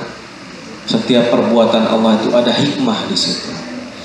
Para ulama menjelaskan di antara bentuk hikmah dari perbuatan Allah, Allah ketika memberikan sesuatu kepada hambanya itu bukan semena-mena Allah, bukan suka-suka hatinya Allah enggak. Tapi Allah lakukan itu karena ada sebab, karena ada sebab, ya. Termasuk dalam masalah rezeki. Kenapa Allah memberikan? Oke, tadi konteksnya dalam rezeki materi, ya bu ya Allah memberikan rezeki berupa materi ini kepada hamba tersebut. Karena ada sebabnya juga salah satunya. Ah, sebabnya apa? Hamba tersebut bekerja, berusaha, ya begitu. Dan ini merupakan salah satu bentuk tawakal yang benar. Ustaz, kenapa kita nggak tawakal aja sama Allah kan udah semua dari tangan Allah. Tawakal aja. Justru tawakal yang benar itu dengan kita melakukan ikhtiar, usaha. Suatu hari ada salah seorang sahabat uh, datang ke majelis Nabi SAW. Dia bawa tunggangannya, unta, bawa unta, naik unta tuh. Terus sampai di lokasi, sahabat ini bilang sama Nabi SAW, ya Rasul, uh, aku biarkan untaku di sini tanpa aku mengikatnya terus aku selesai atau aku ikat dulu Rasul kata Nabi SAW eh, eh kata orang ini tadi aku biarkan terus aku bertawakal sama Allah atau aku ikat dulu Rasul. Kata Nabi SAW kilha thumma tawakal ala Allah. Wa kama Nabi SAW ikat dulu baru tawakal sama Allah. Jadi gitu usaha dulu. Sama seperti kita misalnya punya kendaraan su main taruh-taruh aja nih ibu-ibu nih biasanya. Nah, betulin tak kunci stang tangga belum gitu kan bu nggak ada kunci stang. Udah aman lah itu tawakal sama Allah udah. Serahkan. Enggak. Kunci dulu tuh. Ya.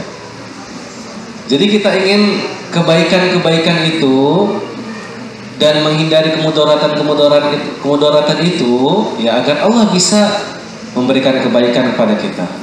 Ya, agar Allah mau menjauhkan kita dari mudarat-mudarat itu datangkan dulu sebab-sebabnya yaitu ikhtiar usaha kita. Harus ada usaha. Gitu. Jadi semua yang Allah berikan kepada kita jazaa'an bima kanu ya'malun. Itu balasan sebagai apa yang telah mereka lakukan. Apa yang mereka kerjakan. Jadi itu balasan. Gitu. Ya Bu ya? Jadi eh, apa namanya? Tadi masalah rezeki. Kenapa kita harus bekerja? Bahkan bu, bahkan jangankan masalah rezeki itu, tempat kita di surga nanti atau di neraka itu sudah tahu, sudah ditetapkan oleh Allah.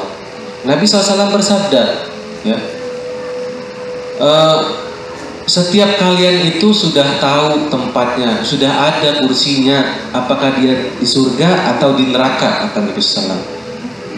Lalu para sahabat bertanya, loh kalau gitu buat apa kita beramal ya Rasulullah? Ya, apa kata Nabi SAW? Balik malu. Ya. Para sahabat mengatakan tadi ya, buat apa kita beramal Rasulullah? Kalau gitu kita bersandar aja dengan takdir itu, bersandar aja.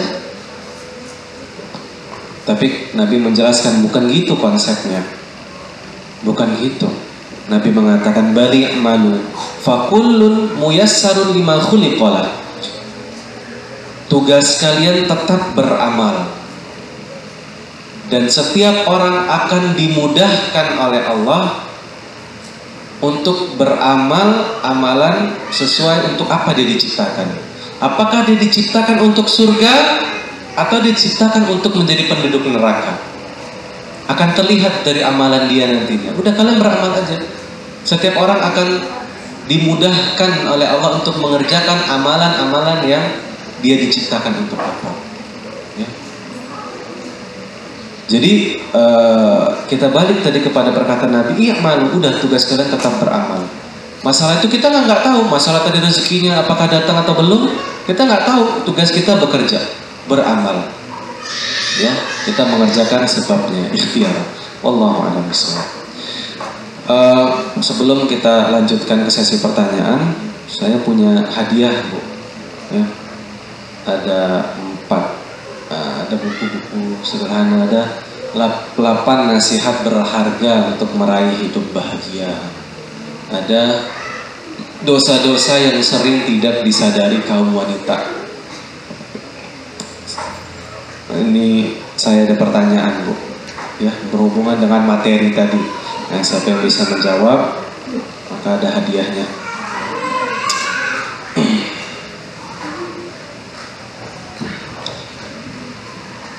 Pertanyaan pertama, pertanyaannya mudah bu.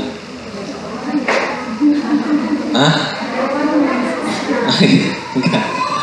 Jawabannya juga mudah insya. Jawabannya juga mudah. Karena memang kita sebenarnya untuk bagi-bagi aja bu. Cuman untuk memilih orangnya aja. Kan bingung cuma empat soalnya. Kalau ada semua dibagikan semua tadi tanpa harus ada pertanyaan. Karena cuma empat, jadi kita pilih dengan siapa yang menjawab lebih dahulu. Pertanyaannya bu, siapa uh, dua golongan orang atau jen, dua jenis orang yang dosanya akan didahulukan ya, di dunia dan di akhirat. Iya bu. Yang pertama orang yang berzalimi, yang kedua orang doanya orang tua terhadap anaknya. Oh, belum salah. Ingat gue pertanyaannya ya. Oke, coba ya. Bu. Iya. Jadi itu bu ya. Jadi benar. Ibu dosa yang mana nih bu bukunya bu? Dosa-dosa yang sering tidak disadari kaum wanita atau 8 nasihat berharga? 8 nasihat berharga meraih hidup bahagia. Oke, ini bu ya. Belum, belum, belum. Nah, insya Allah kita kasih ini dulu bu ya. Takut lupa nanti. Ya. Oke, ini cepat aja nih biar segera ibunya bertanya. Oke, eh, tadi ada tiga golongan orang doanya nggak ditolak oleh Allah. Iya bu.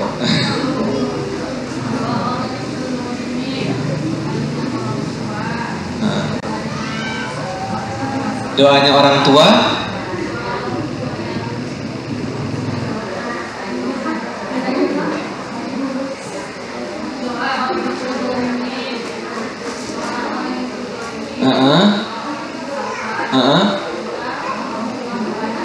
Iya, oke.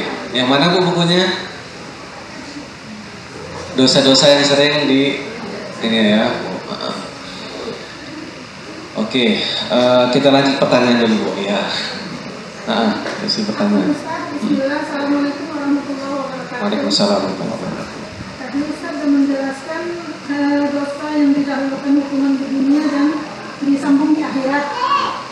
Eh, yang dari pertanyaan untuk poin kedua memutuskan silaturahim.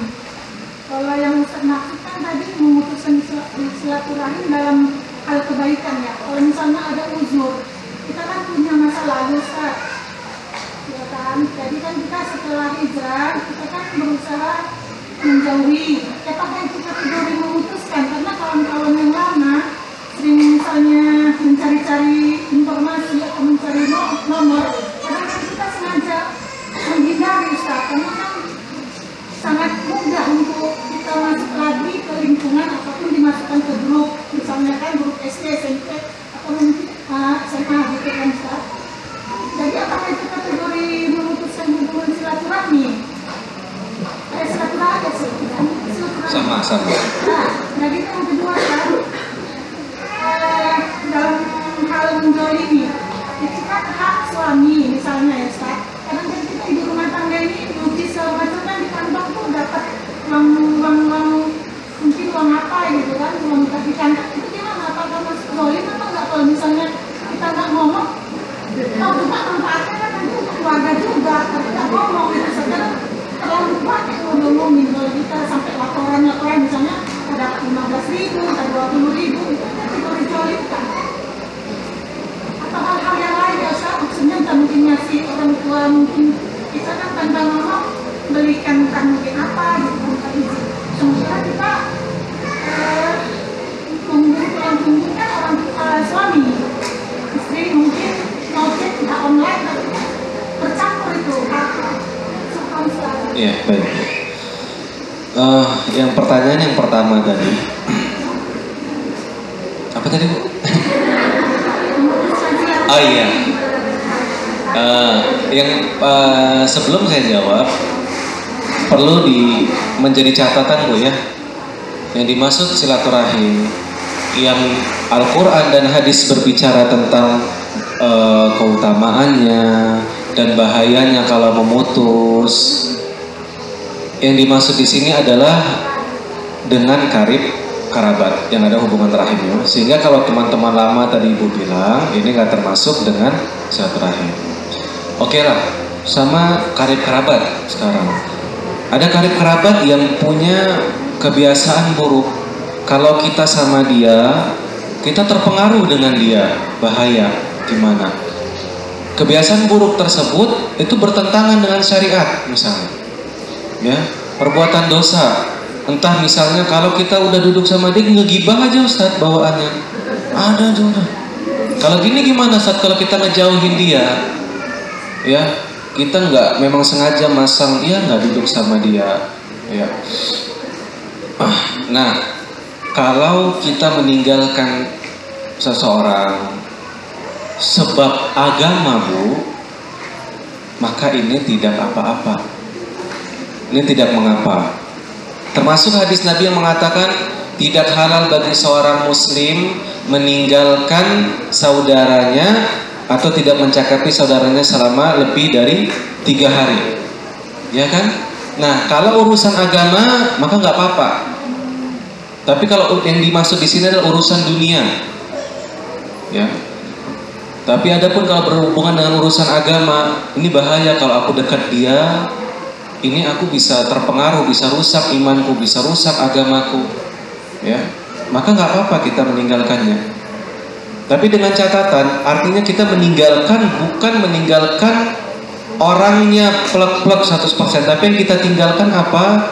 Perbuatannya itu, Bu. Artinya, oh kalau duduk sama dia di satu waktu pasti ngegibah Berarti aku tinggalkan duduk-duduk sama dia. Adapun kalau cuma misal nanya kabar, nelpon ini, ngasih bantuan dan sebagainya, ini nggak apa-apa. Tetap kita jalin. Ya, kalau kita nggak bisa menyambung silaturahmi dengan cara untuk bertemu, karena khawatir kalau bertemu akan terjadi banyak kemungkaran, maka kita sambung dengan cara yang lain. Gitu. Ya hanya dengan berbicara via telepon biasa dan sebagainya. Nah, seperti itu Bu ya. Uh, pertanyaan yang kedua tadi tentang apa bu?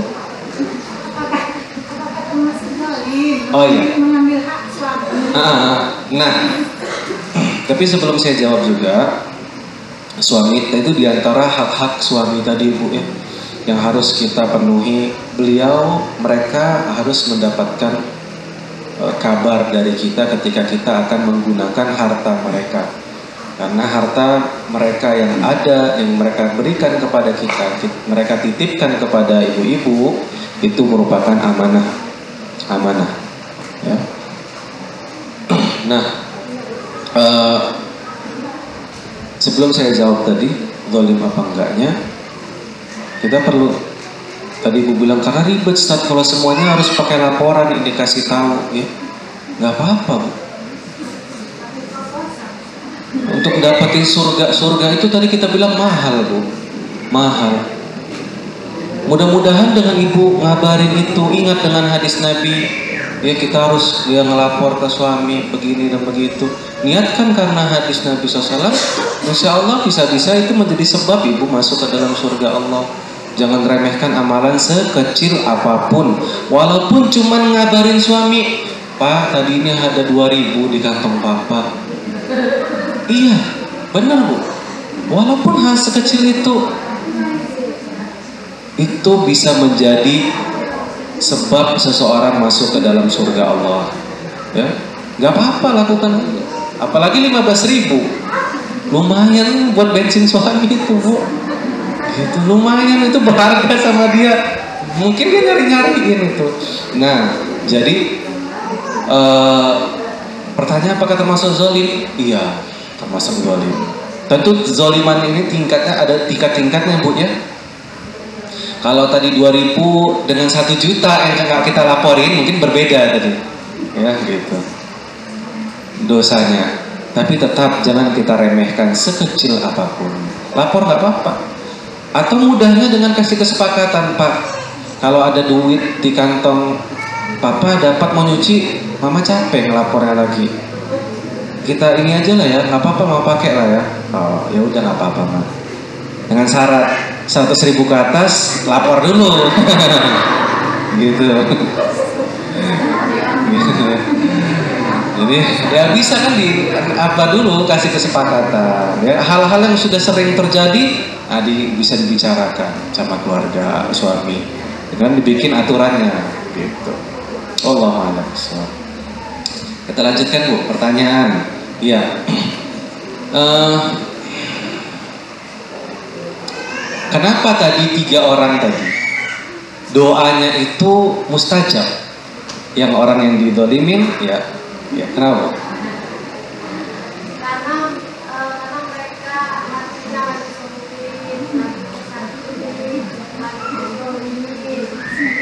Iya. Dan intinya karena sebab itu semua sehingga mereka sangat ya, biasa orang-orang seperti ini akan kembali hatinya kepada Allah, akan hanya bergantung kepada Allah semata. Inilah yang membuat doanya mustajab. Ibu yang mana bu bukunya? Yang mana aja? Oh, ya ini kayaknya nih dosa-dosa yang sering tidak disadari kaum wanita ibu ya. Bukan karena saya ngeliat ibu banyak dosa nih bu, enggak ya. enggak bu.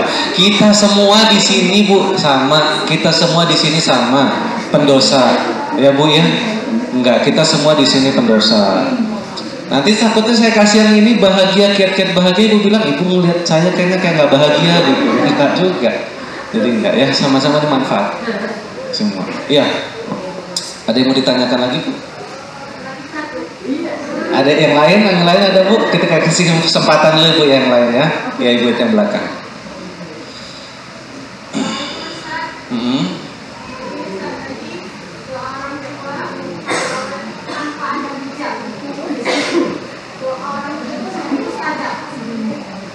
Jadi yang ingin Anda tanyakan, bagaimana ketika orang tua itu penghasilannya agak besar, artinya gini Pak, kadang ada sebuah anak juga itu.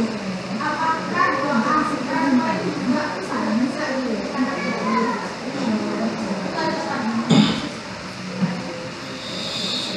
Ya bagaimana kalau orang tuanya ini adalah orang tua yang pelaku maksiat? Apalagi dia melakukan maksiat-maksiat yang bisa menjadi penghalang terkabulnya doa. Seperti tadi memakan harta haram. Itu merupakan sebab uh, terkabul, apa namanya, penghalang atau tidak dikabulkannya doa seseorang. Ya. Wallahu a'lam bishawab. Ya, berdasarkan hadis Nabi SAW ini, ya Nabi menyebutkan secara umum ini, secara umum dakwatul walid doanya orang tua. Nabi nggak mengatakan orang tua yang memakan harta halal, orang tua yang menjauhi perbuatan ini dan perbuatan itu. Tapi siapa pun itu orang tuanya, bagaimanapun kondisinya, ya, ketika dia mendoakan keburukan untuk anaknya maka doanya mustajab. Meskipun dia orang tuanya adalah orang tua yang zalim kepada anaknya sendiri misalnya. Tapi suatu waktu anaknya berbuat buruk kepada dia. Ya, sehingga dia mendoakan keburukan untuk anaknya. Maka ini bisa termasuk ke dalam hadis Nabi SAW ini. Gitu. Allah a'lam. Iya, Bu. ya, ya, ya orang tuanya, kan orang tua nih, Hmm. kayak eh, sakit hati sama anak, tapi kita harus doa sih, kita nggak mungkin kita doain anaknya ya, kan? Ya Allah berilah anakku, anakku, misalnya gitu, Allah nggak marah kita. Sama? Allah nggak marah sama? Kita orang anak kita juga, sama kita ya udah apa-apa namanya anak, gitu. Kita nggak sakit hati, gitu, kadang Heeh. Pertanyaan tadi apakah Allah nggak marah Iya. sama? sama si anak. Oh sama si anak. Iya.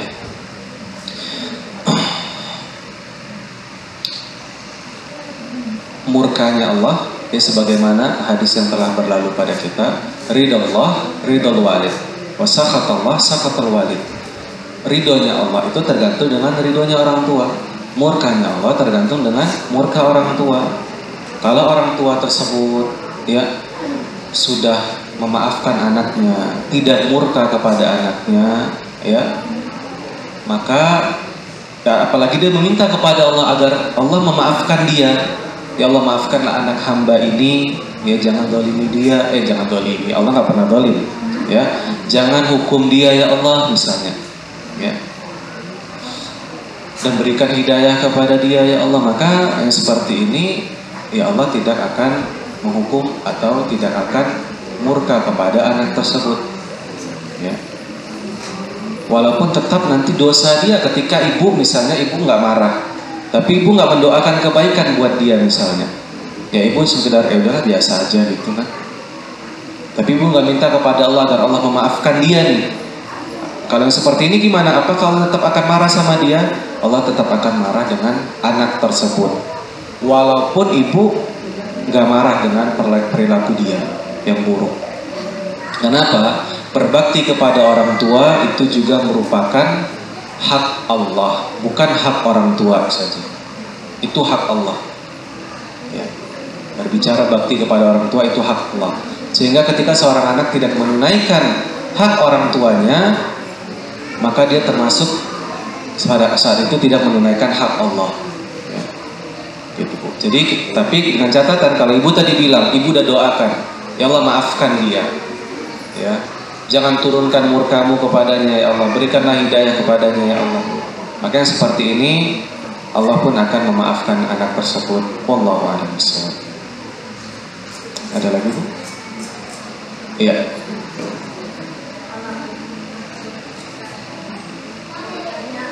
Assalamualaikum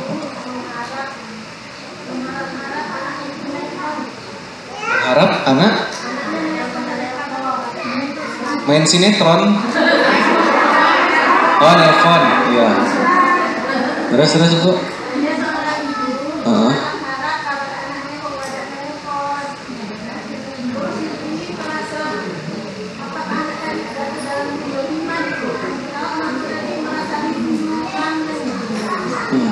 Iya. Hmm.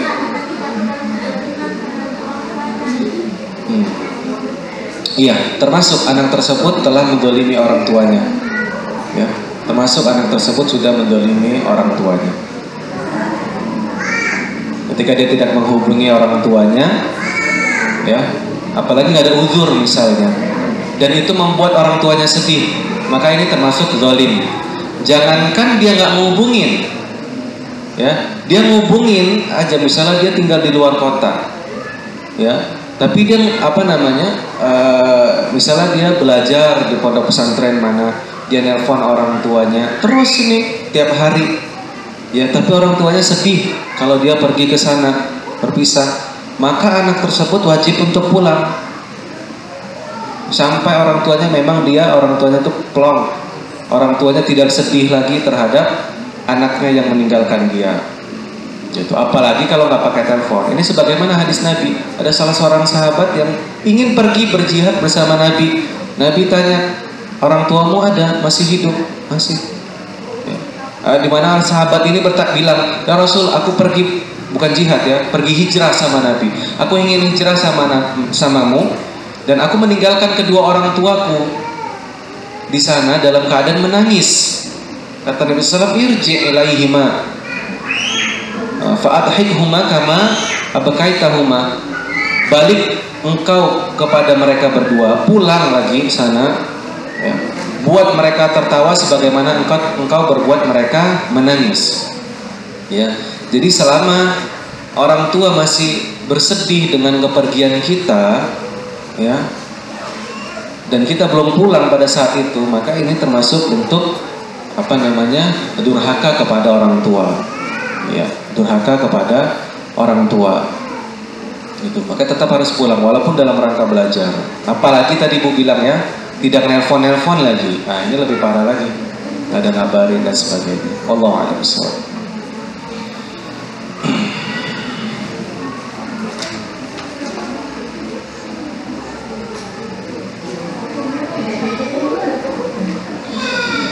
Satu lagi nih bu, hadiahnya. Nggak ada yang nanya lagi bu? Nggak ada ya? Masih ada? Oke ibu.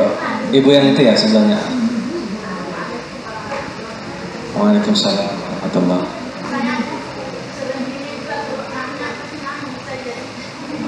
Kenapa Bu?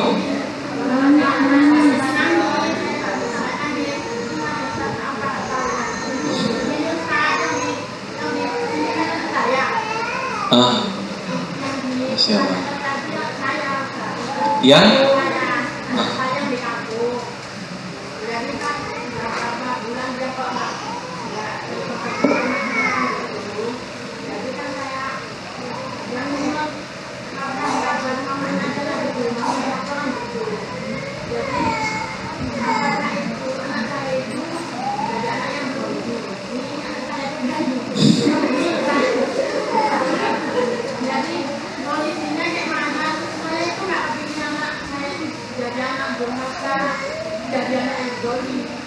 Hmm.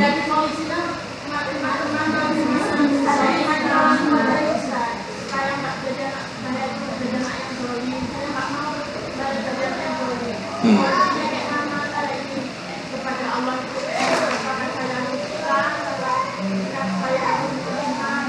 Hmm. Iya, eh, pertama-tama tentu kita memohon kepada Allah agar Allah menjadikan ibu dan anak-anak ibu sebagai penghuninya Allah, penghuni surganya Allah Subhanahu wa taala. Semoga Allah akan mengumpulkan ibu dan anak-anak beserta suami di dalam surganya Allah Subhanahu wa taala dan kita semua yang ada di tempat ini juga. Amin ya rabbal alamin.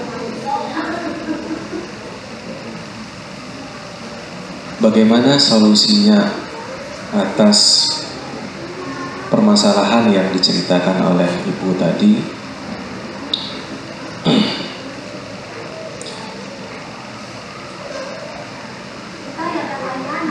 Ba-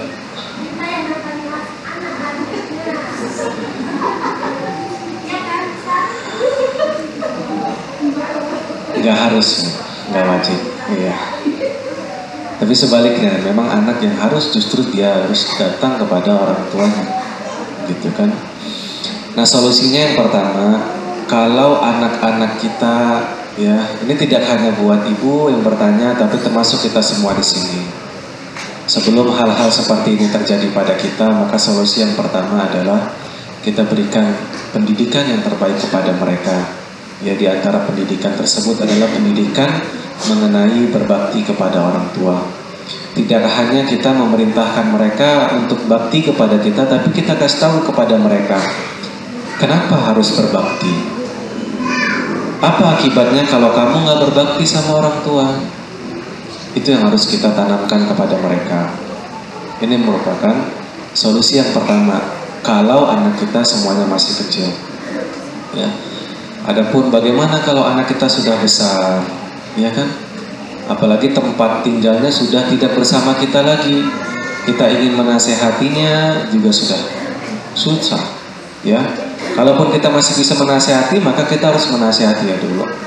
Tetap kita sebagai orang tua, ya tidak putus-putus. Ya kita sebagai orang tua berkewajiban untuk menasehati, memberitahu mereka anak-anak kita.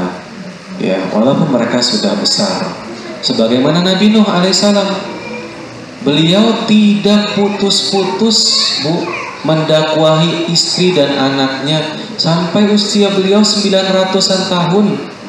Gak putus-putus. Jadi jangan ngira kita mengingatkan anak kita itu ketika dia masih usia sekolah saja Enggak. Sampai dia dewasa kita tetap berkewajiban untuk memberikan nasihat kepada mereka. Tapi ingat sebatas nasihat itu kewajiban kita. Kalau usia mereka sudah dewasa kita nggak berhak untuk memaksa mereka. Nah kalau sudah kita berikan nasihat ya dari lisan kita melalui lisan saudara-saudarinya melalui orang-orang di sekitar dia juga sudah mengingatkannya ya maka solusinya bisa seperti tadi yang ditanyakan oleh ibu yang pakai jilbab abu-abu tadi. Upayakan kita maafkan dulu mereka. Kita maafkan atas kezaliman mereka kepada kita. Minta sama Allah agar Allah memaafkannya. dan minta sama Allah. Ini solusi yang udah paling jitu juga nih Bu. Dari solusi-solusi yang lain. Minta sama Allah agar Allah memberikan hidayah dan taufik kepadanya. Karena masalah hati Bu, hati itu ada di tangan Allah, hati manusia. Mudah kok bagi Allah untuk membolak-balikan hati anak kita, mudah. Gitu. Kuncinya minta sama Allah. Minta sama Allah. Ya mudah-mudahan dengan itu Allah akan memberikan hidayah kepada anak kita semuanya, khususnya anak ibu. Ibu ya. Semoga Allah memberikan hidayah kepada kita semua yang hadir di tempat ini dan semoga Allah mengumpulkan kita bersama anak-anak dan cucu-cucu kita, keluarga kita semuanya di surganya Allah kelak. Amin ya rabbal alamin. Ya. Uh, ini ada buku sisa satu lagi mungkin bisa buat uh, ibu tadi ya atau buat sama anaknya tadi ya, bisa dibaca. Judulnya 8 nasihat berharga meraih hidup bahagia ya. Uh, jam berapa? Ya, mungkin kita cukupkan sampai di sini Bu ya uh, kajiannya. Jika ada yang salah dari apa yang saya sampaikan, saya mohon maaf. Jika ada yang benar itu datang dari Allah. Kita akhiri dengan doa kafaratul majelis. Subhanakallahumma wa bihamdika asyhadu an la ilaha illa anta astaghfiruka wa atubu ilaik. Assalamualaikum warahmatullahi wabarakatuh.